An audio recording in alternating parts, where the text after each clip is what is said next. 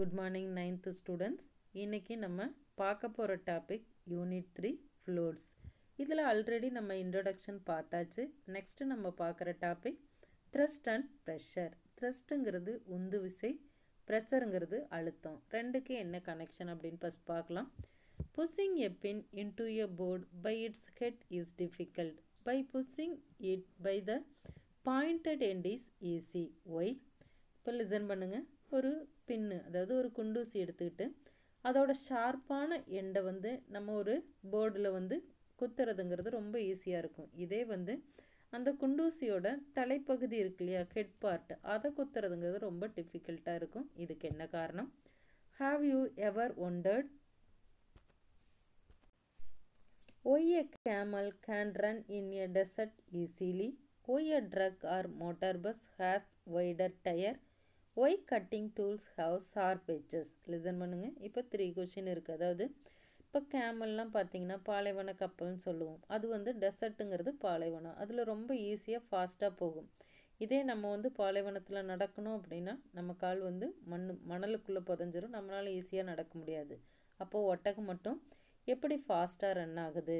Why a truck or a motor bus has wider tyre அதே மாதிரி இப்போ பேருந்து இந்த மோ மோட்டார் வாகனங்களுக்கெல்லாம் டயர் ஏன் இவ்வளோ அகலமாக இருக்கணும்? நெக்ஸ்ட் பாருங்கள் why cutting tools have sharp edges அதே மாதிரி நம்ம வெட்டும் கருவிகள் எல்லாமே அது அறிவாளாக இருந்தாலும் சரி கோடாரியாக இருந்தாலும் சரி அது ஏன் அவ்வளோ ஷார்ப்பான எச் இருக்கணும் முனை இருக்கணும்? கவனிங்க. In order to answer these questions and understand the phenomena involved we need to learn about two interrelated physical concepts called thrust and pressure listen பண்ணுங்கள் இப்போ இந்த மூணு கொஷினுக்கும் ஆன்சர் பண்ணணும் அப்படின்னா நமக்கு ஒரு ரெண்டு இம்பார்ட்டன்ட் ஃபிசிக்கல் கான்செப்ட் தெரிஞ்சிருக்கணும். அதாவது இயற்பியல் கருத்துக்கள் இருந்திருக்கணும் தெரிஞ்சிருக்கணும். அந்த ரெண்டு இயற்பியல் கருத்துக்களுக்கு பேர் தான் ஒன்று த்ரஸ்ட் இன்னொன்று ப்ரெஷர் அது என்னென்னு பார்க்கலாம். இப்போ கவனிங்க. ஒரு ஆக்டிவிட்டி இருக்குது stand and loose sand your feet got deep into the sand now lie down on the sand what happens you will find that your body will not go go that deep into the sand why listen பண்ணுங்க. இப்போ மணல் கொட்டி வச்சுருக்காங்கன்னு வச்சுக்கலாம். அந்த மணல் மேலே நம்ம ஏறி நின்னோம் அப்படின்னா என்னாகும்? நம்மளுடைய பாதம் மணலுக்குள்ளே பதிஞ்சிரும். இதே அதே மணலில் இப்போ நம்ம ஏறி படுத்துக்கிட்டோம் அப்படின்னா என்னாகும்னா நம்ம உடம்பு அந்த மணலுக்குள்ளே போகாது. நம்ம என்ன பொசிஷனில் படுத்தோமோ அதே பொசிஷனில் இருக்கும். இதுக்கு என்ன ரீசன் அப்படின்னு பார்க்கலாம். In both the cases of the above activity the force exerted on the sand is the weight of your body which is the same this force acting perpendicular to the surface is called thrust listen பண்ணுங்கள் இப்போ இந்த ரெண்டு கேஸ்லேயும் அதாவது மணல் மேலே நிற்கிறதும் சரி மணல் மேலே படுக்கிறதும் சரி ரெண்டு கேஸ்லேயுமே நம்ம பாடி வெயிட் சேஞ்ச் ஆகிறது இல்லை பாடி வெயிட் எப்படி இருக்கும்? சேமாக தான் இருக்கும். நம்ம பாடி வெயிட் கொடுக்குற அந்த விசைக்கு பேர் தான் த்ரஸ்ட் லிசன் பண்ணுங்கள் this force acting perpendicular to the surface is called thrust when you stand on loose sand the force is acting on an area equal to the area of your feet when you lie down the same force acts on an area of your whole body which is larger than the area of your feet therefore the effect of thrust depends on the area on which it acts இப்போ கவனிங்க அதாவது மணல் மேலே நிற்கும்போது நம்ம உடம்பு கொடுக்குற அந்த ஃபோர்ஸுக்கு பேர் ஃபோர்ஸுக்கு பேர் தான் த்ரஸ்ட்டுன்னு சொல்லியாச்சு இப்போ மணலில் நம்ம நிற்கும்போது நம்ம பாதம் வந்து அந்த மணல் பரப்பை தொட்டு கொண்டிருக்கிற பரப்பு பார்த்திங்கன்னா ரொம்ப குட்டியாக இருக்கும். ஆனால் வெயிட்டோ ஃபோர்ஸோ ஈக்குவலாக தான் இருக்கும். அதே நம்ம வந்து அந்த மணலில் படுத்திருக்கும்போது நம்ம பாடி டச் பண்ணுற அந்த சாண்டோட சர்ஃபேஸ் பார்த்திங்கன்னா ஏரியா அதிகமாயிருச்சு. ஆனால் ஃபோர்ஸ் பார்த்திங்கன்னா அதே ஃபோர்ஸ் தான். இப்போ ரெண்டுலேயுமே பாருங்கள் ஒன்றில் அதாவது மணல் மேலே நிற்கும்போது ஃபோர்ஸ் வந்து ஈக்குவல் ஆனால் வந்து ஏரியா குறைஞ்சிருச்சு. கால் டச் பண்ணுற ஏரியா குறைஞ்சிருச்சு. இதே மணல் மேலே படுத்திருக்கும்போது ஃபோர்ஸ் ஈக்குவல் தான். ஆனால் ஏரியா அதிகமாயிருச்சு. கவனிங்க. The effect of thrust on sand is larger while standing than while lying listen பண்ணுங்கள் அப்போ இந்த விசைங்கிறது பார்த்திங்கன்னா எதோட வந்து பொறுத்தது அப்படின்னா அது எவ்வளவு பரப்பில் டச் பண்ணிகிட்டு இருக்குதுங்கிறத பொறுத்தது தான்.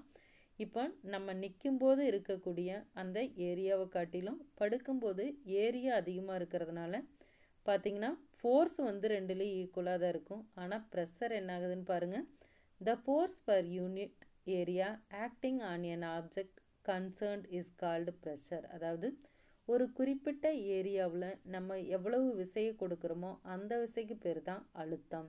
Thus we can say thrust on an unit area is pressure. அதாவது ஒரு குறிப்பிட்ட அதாவது ஓரலகு ஏரியாவில் ஓரலகு பரப்பில் நம்ம கொடுக்குற விசைக்கு பேர் அழுத்தம்.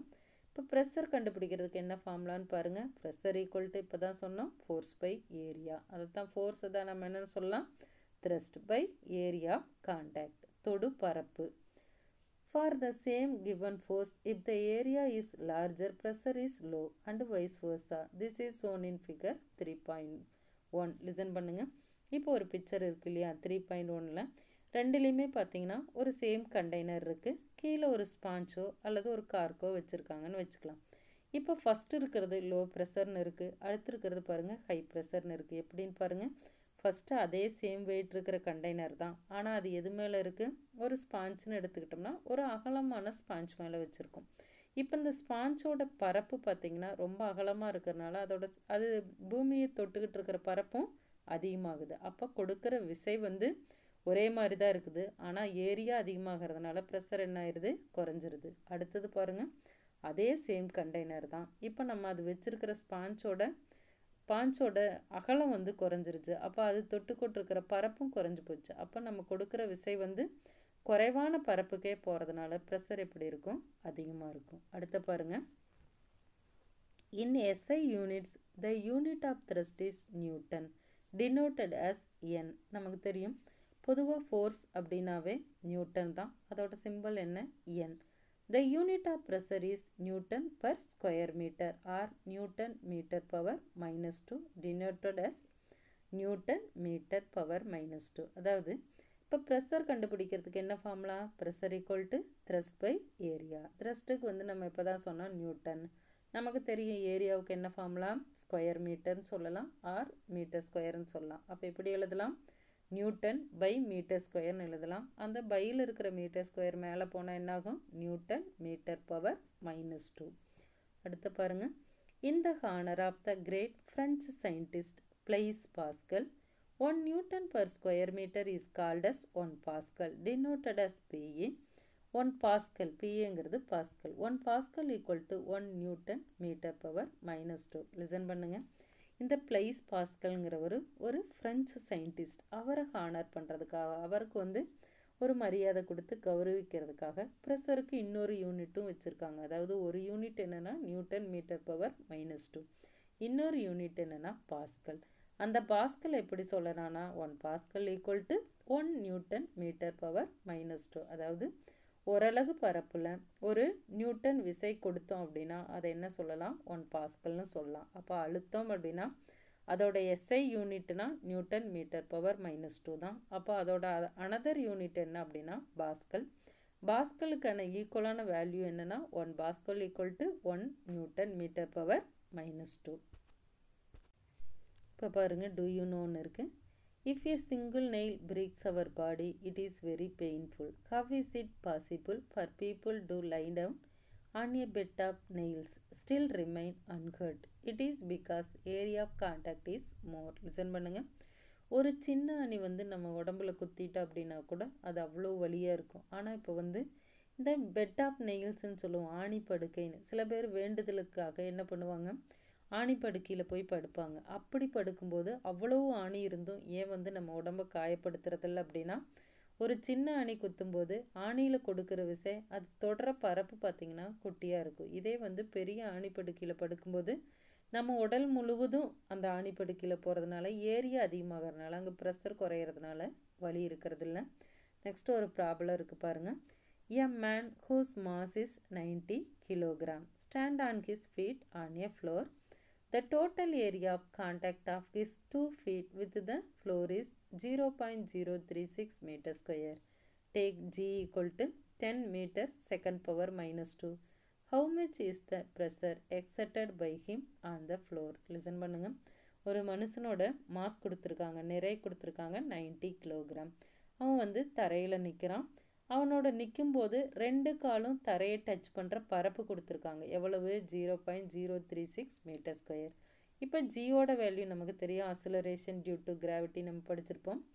அது வந்து ஜியோட வேல்யூ நம்ம நைன் பாயிண்ட் எயிட்டுன்னு படித்தோம் இதை அப்படியே ஹோல் நம்பராக மாற்றி ten metre second power minus டூன்னு கொடுத்தாச்சு. இப்போ என்ன கண்டுபிடிக்க சொல்லியிருக்காங்க? ப்ரெஷர் கண்டுபிடிக்க சொல்லியிருக்காங்க.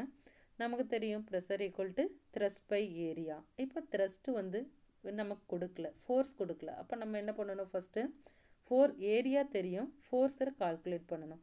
ஃபோர்ஸுங்கிறது என்ன சொன்னோம்? அவங்களோட வெயிட்டு தான் ஃபோர்ஸுன்னு சொன்னோம். அப்போ எஃப் ஈக்குவல் டு டபிள்யூ இப்போ டபிள்யூ நமக்கு தெரியும். மாஸ் கொடுத்துருந்தா டபிள்யூ கண்டுபிடிக்கிறதுக்கு என்ன formula W equal to M into G இப்போ எம்முங்கிறது எவ்வளோ? நைன்ட்டி ஜிங்கிறது எவ்வளோ?